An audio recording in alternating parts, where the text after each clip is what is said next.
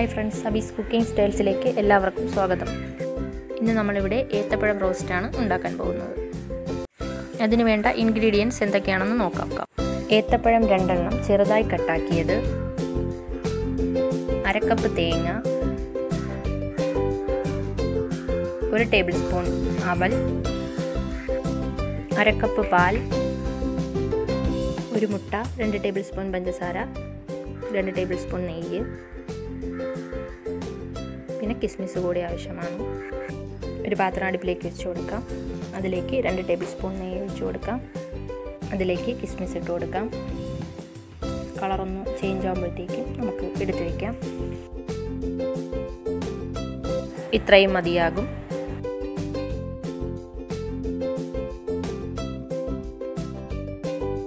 ഇതിലേക്ക് ഒരു മുട്ട കൂടി ചേർത്ത് കൊടുക്കാം.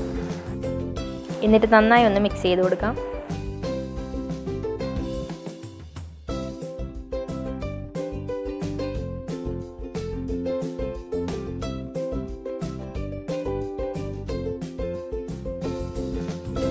ഇതിലേക്ക് അരക്കപ്പ് തേങ്ങ കൂടി ചേർത്ത് കൊടുക്കാം.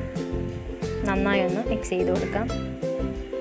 കളറൊന്ന് ചേഞ്ച് ആകുമ്പോഴത്തേക്കും മതിയാകും.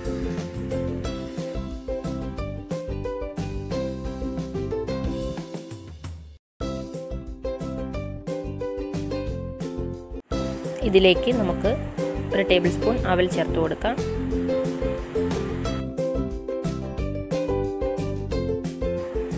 ഇതിലേക്ക് കട്ടാക്കി വെച്ചേക്കുന്ന ഏത്തപ്പഴം ചേർത്ത് കൊടുക്കാം.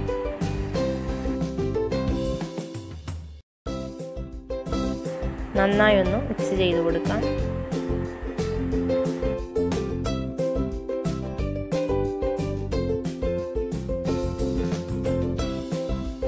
ഇതിലേക്ക് രണ്ട് ടേബിൾ സ്പൂൺ പഞ്ചസാര കൂടി ചേർത്ത് കൊടുക്കാം.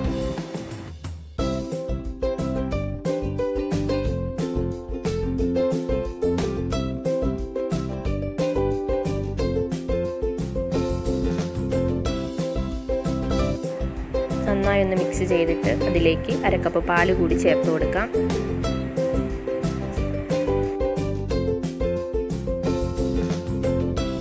നമുക്കൊരു രണ്ട് മിനിറ്റ് അടച്ചു വെച്ച് കുക്ക് ചെയ്യാം. ഇപ്പോൾ പാകത്തിന് ഏത്തപ്പഴമൊക്കെ നന്നായി വെന്ത് വന്നിട്ടുണ്ട്. ഇതിലേക്ക് നമുക്ക് വറുത്ത് കോരി വെച്ചേക്കുന്ന കിസ്മിസ് ഇട്ട് കൊടുക്കാം. നന്നായി മിക്സ് ചെയ്തെടുക്കാം.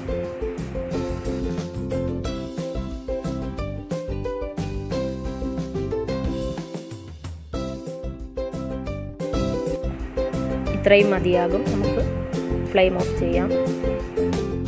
നമ്മുടെ ഏത്തപ്പഴം റോസ്റ്റ് ഇവിടെ റെഡിയായി കഴിഞ്ഞു. എല്ലാവരും ഉണ്ടാക്കി നോക്കണം.